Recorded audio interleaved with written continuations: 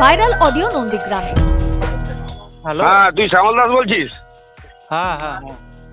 আমি কচন বলছি নন্দীগ্রাম থেকে। আচ্ছা বলো। তুই এসে ফেসবুকে কি কমেন্ট করেছিস? ফেসবুকে? হ্যাঁ।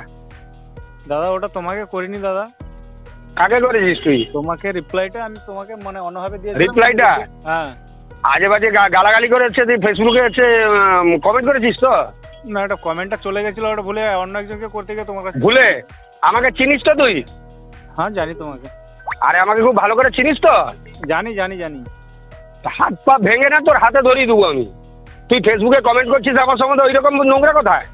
হ্যাঁ তুই আমাকে হাত পা ভেঙে তোর হাতে ধরিয়ে দেবো আমি। আমার নাম কচন তুই মনে রাখ।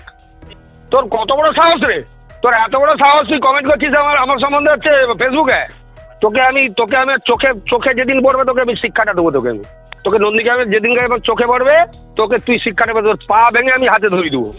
তবে বিজেপি কর্মী শ্যামল দাসের অভিযোগ তৃণমূল নেতা তাকে প্রাণে মারার হুমকি দিয়েছেন। প্রাক্তন প্রধান নন্দীগ্রাম অঞ্চলের কচনবাবু উনি আমাকে প্রাণে মারার হুমকি দিয়েছে।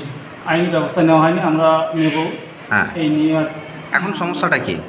সমস্যা উনি আমাকে আমার বাড়ি থেকেও খুব আতঙ্কে আছে প্রাণে মারার খুব হুমকি দিয়েছে আমাকে পা হাত ভেঙে দেবে। পা ভেঙে হাতে ধরে দেবে এরকম কিছু একটা কথা বলেছে। যদিও পুরো বিষয়টিকে আমল না দিয়ে তৃণমূল নেতা সুদীপ খাঁড়ার বক্তব্য সোশ্যাল মিডিয়ায় তার পেজে গিয়ে কুরুচিকর মন্তব্য করে ওই যুবক তাই তাকে ফোন করেন তিনি তবে কোনো হুমকি দেননি। আমার ফেসবুকে আমি আমার পার্সোনাল একটি ছবি আমি পোস্ট করেছিলাম। সেই পার্সোনাল ছবিতে খুব নোংরা কমেন্ট করেছিল। হ্যাঁ সেই নোংরা কমেন্ট করার ভিত্তিতে আমি খোঁজখবর লাগাই যে এই ছেলেটি কে। পরবর্তী ক্ষেত্রে ওর নাম ফোন নাম্বারটা আমি পাই। ফোন নাম্বারটি পেয়ে ওকে আমি বলেছিলাম, তুই এই ধরনের মন্তব্য কেন করেছিলি? এই ধরনের মন্তব্য কেন করেছিলি? তাতে ও অস্বীকার করে এবং আমি সেখানে ওকে বলি যে, এই মন্তব্য তুই আমার ফেসবুকে করেছিস। যে অডিও রেকর্ডিং ঘিরে নন্দীগ্রামে চলছে এই চাপানুতর তার সত্যতা যাচাই করেনি নিউজ বর্তমান। জাহাঙ্গীর বাদশাহ রিপোর্ট, নিউজ বর্তমান।